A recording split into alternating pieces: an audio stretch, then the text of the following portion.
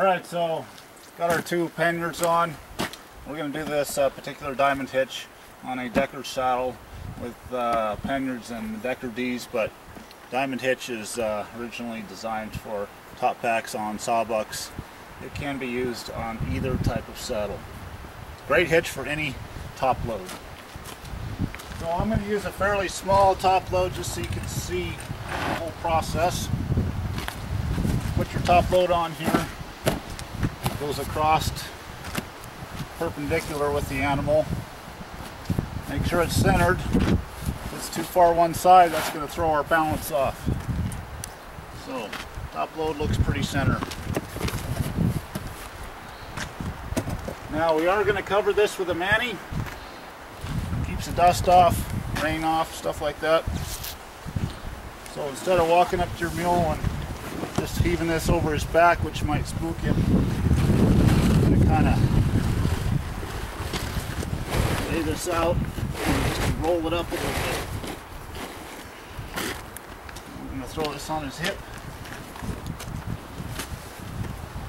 and just kind of roll it forward.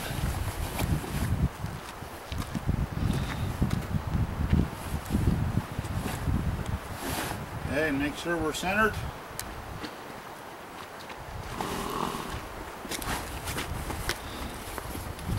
Behind your box.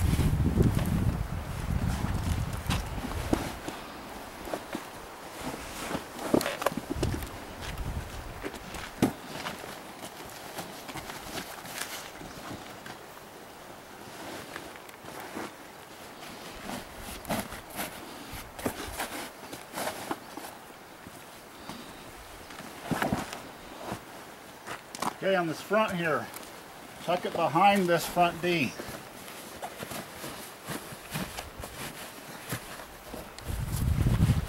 That way I can keep an eye on my saddle, make sure it's not rolling on me.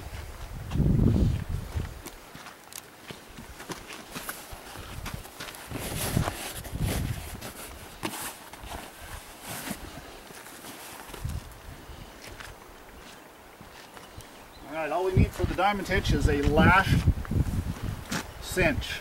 And these are about 45 to 50 feet long. Okay, to start, kind of find the center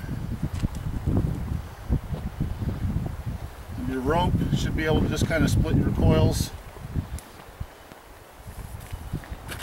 Alright, throw it tail out to the tail of the mule. Okay, so we're going to start with my cinch here.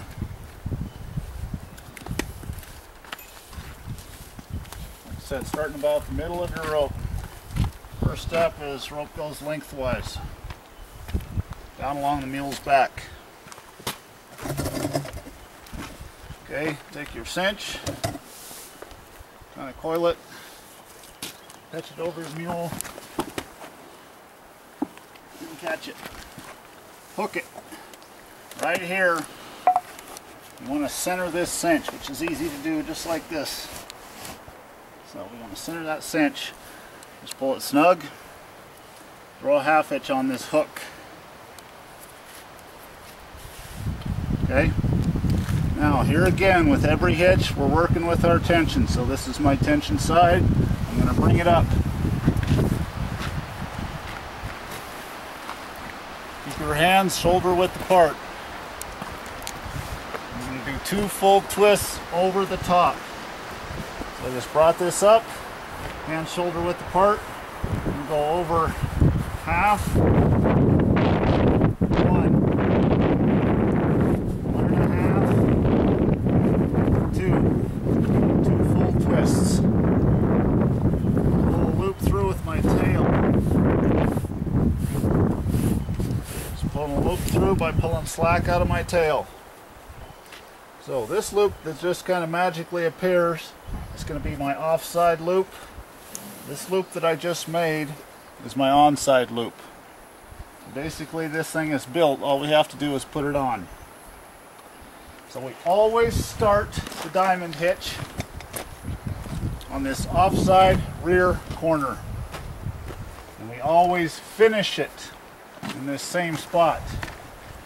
So we're going to take our loop. This hitch goes under the box. It doesn't have to go behind. It goes under the box. Just taking slack out as I go.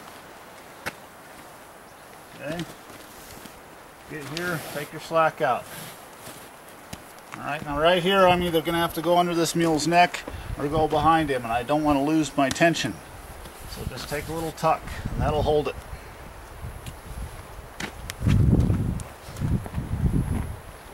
Okay, now we're on the onside front quarter. I'm just going to continue on. Here is where I stretch the first part of my diamond. Easy, Johnny. So you can pull pretty tight here. Under the box, continuing on.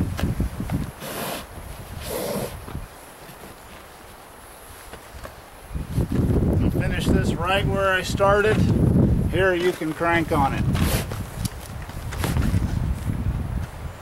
Alright, and you can see the diamond forming up top there. The bigger the top load you have, the bigger the diamond you want. Alright, so once you get her good and tight, going to come under the box again. And we're just to tie it off with a packer's knot. Loop over, swing it under.